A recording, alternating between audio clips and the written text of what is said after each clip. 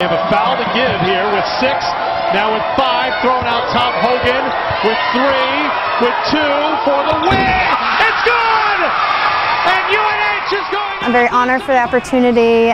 Most of all, I just I'm excited because UNH has given me so much and I'm ready to give them something back. So I'm happy to be on the sideline and be able to put my fourth effort into that.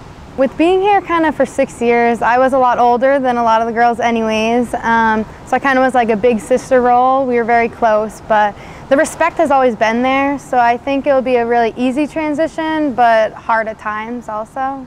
Well, I think Kelsey was was a unique player in the sense that she, even though she was a lot older than a lot of the other girls on the team, she was always a big part of our recruiting. Um, so I really think just with her she's such a hardworking person. She's going to be a tireless recruiter. I know off the bat that she's really excited to get out on the road this July and, and to get out to events and to be, to be able to evaluate talent. Um, and I think she's going to be great at that. Um, she's always been just that type of player that's been able to break down watch tape and, and, and to be able to evaluate the opponent. So I think she's going to do a great job with that. But uh, you know, overall, just her enthusiasm and passion for the game, um, and, and this is something that she I think she's always really wanted to do is to coach, and it's it's a pretty special thing to be able to do something that you that you love so much. And Kelsey's going to be a great coach. I always consider Coach Magarity like one of my mentors. I always looked up to her. She's she's been my role model really since the first time she's gotten here. So it's unbelievable. I'm so happy to be able to even learn from her some more, and I just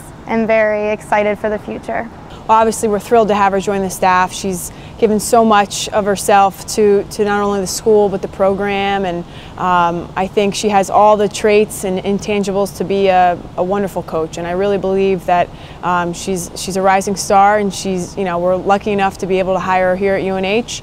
Um, but I, I, really feel she'll, she'll be a, she'll be a great coach.